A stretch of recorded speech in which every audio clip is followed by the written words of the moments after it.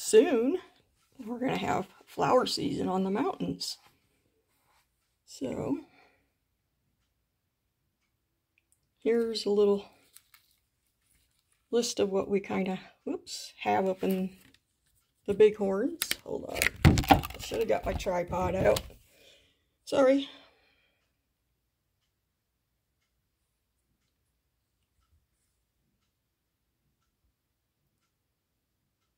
We do have quite a few of these. Love the mountain bluebells. They're usually by the creeks.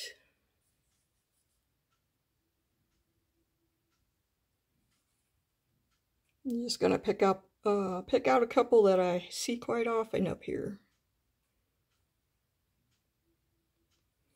The Duncecap Larkspur is another one.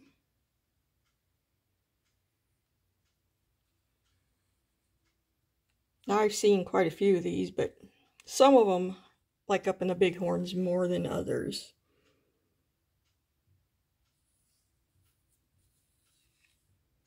Um, seen this one quite a bit up in the bighorns.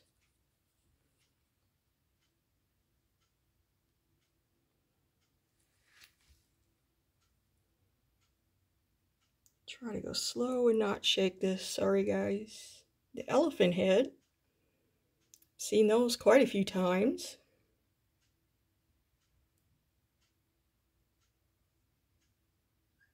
The shooting star. A lot. Those are pretty. And I will be going up and showing you guys the flowers.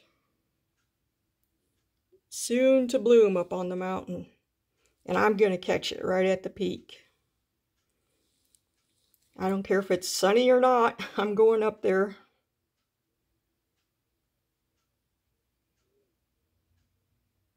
Supposed to have the next couple days really nice weather. Now, I don't know why they're calling it sticky paintbrush because our state flower is the Indian paintbrush. And maybe that's because of the name you know how that is anymore. They change names because people are offended. You know, yeah, we have cactus. Quite a bit of cactus around here. What I'm not seeing is the bitterroot. Yep, we have the columbine and the yellow bells. And the yellow pond lilies are cool. Usually high up in the mountain lakes.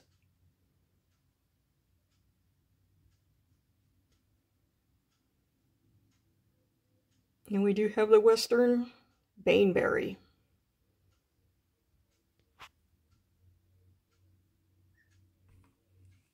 Yeah, I don't see the yellow bitterroot. Strange.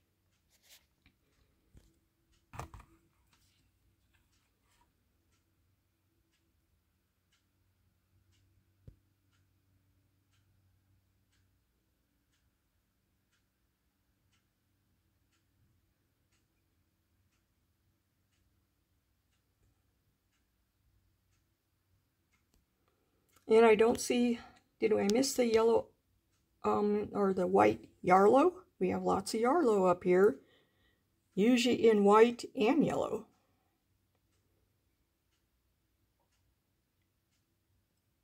Maybe these names are different than what we call them around here. Not sure about that. Yeah, and the lupine. That's what we're going to see a lot of is lupine. And I'm not seeing lupine on here. Not unless they're calling it something else. Purple lupine. I'm not seeing it. Weird. We also have potentilla. All this will be in bloom soon. And we do have wild rose. Which ends up being rose hip and you can go pick it. All right.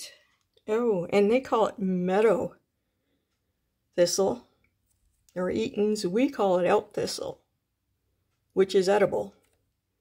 It's kind of like once you clean it off, it's like, um, looks like celery. Not much of a taste, but yeah, I don't know. This is just a guide that probably isn't totally correct for what we have around here. And while we're at it, let's do the fish. Um, somebody gave me these. So, hold on. I should have got my tripod out. Sorry, guys. Sorry, sorry, sorry.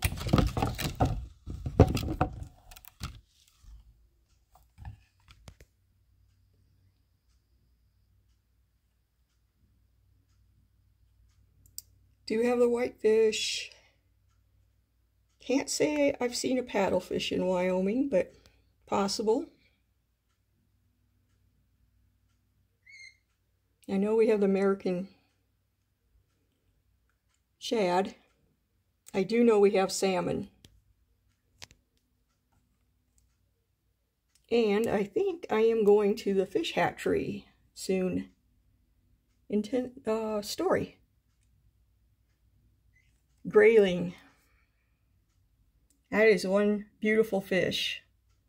Now, we have lots of those up here. That dorsal fin, which this won't do it justice, but the colors in it are amazing. You can see through them. Brook trout, one of my favorites. Lake trout, eh, okay. Same with bull trout and brown trout. But then we have a cutthroat. We actually have five kinds of cutthroat in Wyoming. And we also, the state has a thing where you can do what they call it the Grand Slam of the cutthroat.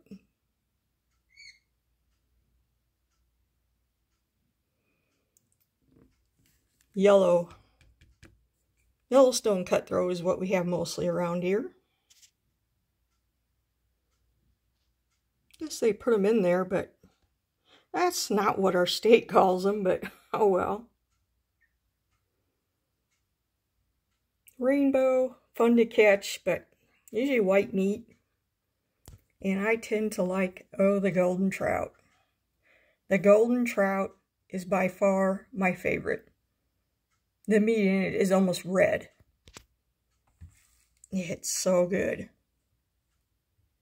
And I thought that red band one was a tiger. But like I said, this is totally different names than what we call them. We got a couple more on the back.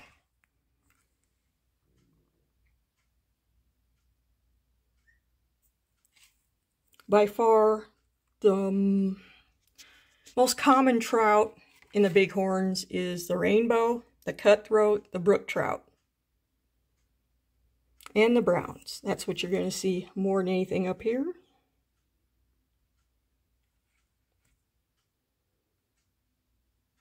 I have caught bluegills and sunfish and perch out at Lake DeSmet. And I am going to take you guys out to Lake DeSmet and show you the lake and hopefully I find some antelope out there. Crappies, yes, I've caught those. I've caught the pumpkins and the rock bass and smallmouths. I haven't ever caught a big largemouth in Wyoming. And the burbot. We call them ling. Those are good. They call them poor man's lobster. Very good caught sauger and walleye and the perch. So, that's about it for the fish in Wyoming, and I will be doing a lot of trout fishing this summer, and I'll take you guys along if you're interested. I love catching brookies and cutthroats the most. Alright, you guys, that's all I have for the flowers and fish around my area.